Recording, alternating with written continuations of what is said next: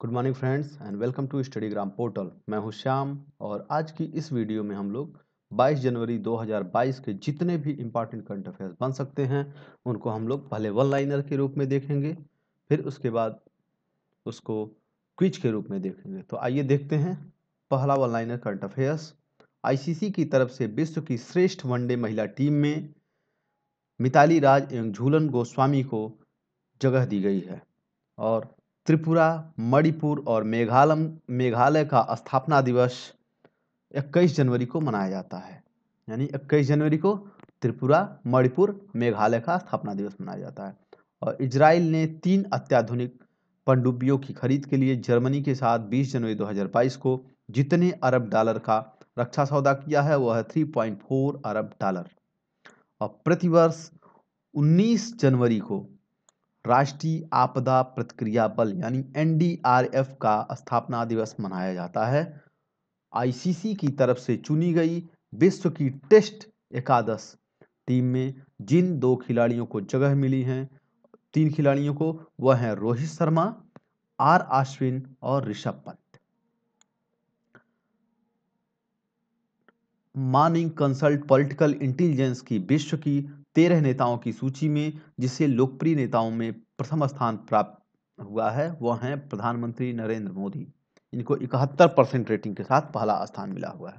और मारिसस की सरकार ने मेट्रो एक्सप्रेस परियोजना में भारत के समर्थन को लेकर एक स्टेशन का नाम महात्मा गांधी के नाम पे रखने की घोषणा की है। तो ये रहे आज के वन लाइनर करंट अफेयर्स अब हम लोग इसको क्विज के रूप में देखते हैं। तो क्विज के रूप में पहला क्वेश्चन है आईसीसी की तरफ़ से चुनी गई विश्व की टेस्ट एकादश में निम्न में से किन भारतीय खिलाड़ियों को जगह मिली है? तो वह हैं option A, Rohit Sharma, R, Ashwin और ऋषभ पंत। भारत के तीन खिलाड़ियों को जगह मिली हुई है।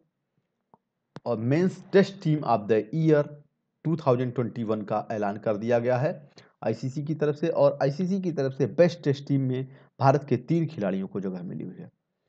और पाकिस्तान के भी तीन खिलाड़ी शामिल हैं और न्यूजीलैंड के दो खिलाड़ियों को मौका मिला हुआ है। और आइए देखते हैं अगला question morning consult political intelligence की विश्व की तेरह नेताओं की सूची में किसे लोकप्रिय नेताओं में प्रथम स्थान प्राप्त हुआ है? तो यह ऑप्शन डी प्रधानमंत्री नरेंद्र मोदी। आइए देखते हैं डिटेल में, प्रधानमंत्री नरेंद्र मोदी दुनिया के सबसे लोकप्रिय नेता हैं। पसंदीदा नेताओं की सूची में करीब 71 परसेंट रेटिंग के साथ उनका नाम सबसे ऊपर है। मानिंग कंसल्ट, पॉलिटिकल इंटेलिजेंस की विश्व की तेरह नेताओं की सूची में अमेरिकी राष्ट्रपति जो बाइडन का स्थान सिक्स है, उन्हें 43 परसेंट रेटिंग मिली है। बाइडन के बाद कनाडा के राष्ट्रपति जस्टिन टूडो हैं, उन्हें 43 परसेंट रेटिंग मिली है और ऑस्ट्रेलिया के पीएम स्कॉट मॉरिसन को 41 परसेंट की रेटिंग मिली हुई है। थर्ड क्वेश्चन है मॉरिसस सरकार ने मेट्रो पर, मेट्रो एक्सप्रेस परियोजना में भारत के समर्थन को लेकर एक स्टेशन का नाम, निम्न में से किसके नाम पर रखने की घोषणा की है तो वह है महात्मा गांधी। यानी मॉरिशस सरकार ने एक मेट्रो एक्सप्रेस परियोजना में भारत के समर्थन को लेकर एक स्टेशन का नाम, महात्मा गांधी के नाम पर रखने की घोषणा की है। फोर्थ क्वेश्चन है, किस देश की नेशनलिस्ट पार्टी के नेता मेटा, रॉबर्टा मेटासोला को यूरोपीय संघ की संसद का अध्यक्ष चुना गया है? तो यह है ऑप्शन ए, माल्टा। द्वीपीय देश माल्टा की नेशनलिस्ट पार्टी की नेता रोबर्टा मेट्सोला को यूरोपीय संघ की संसद का अध्यक्ष चुना गया है। और मेट्सोला पिछले सप्ताह सोशलिस्ट नेता डेविड ससोली के निधन के बाद ढाई साल के कार्यकाल के लिए पदभार को ग्रहण किया है। और वह यह पद, इस पद पर निर्वाचित होने वाली तीसरी महिला है और यूरोपीय पार्लियामेंट की सबसे कम उम्र की अध्यक्ष भी है। आईसीसी की तरफ़ से विश्व की श्रेष्ठ वनडे महिला क्रिकेट टीम में किन दो भारतीय खिलाड़ियों को जगह दी गई है? तो इसका ऑप्शन है ए, मिताली राज एवं झूलन गोस्वामी को। ICC, one day cricket, ICC female, one day team of the year 2001 चुना गया और इसमें दो भारतीय क्रिकेटरों को जगह मिली हुई है, वो हैं मिताली राज और झूलन गोस्वामी।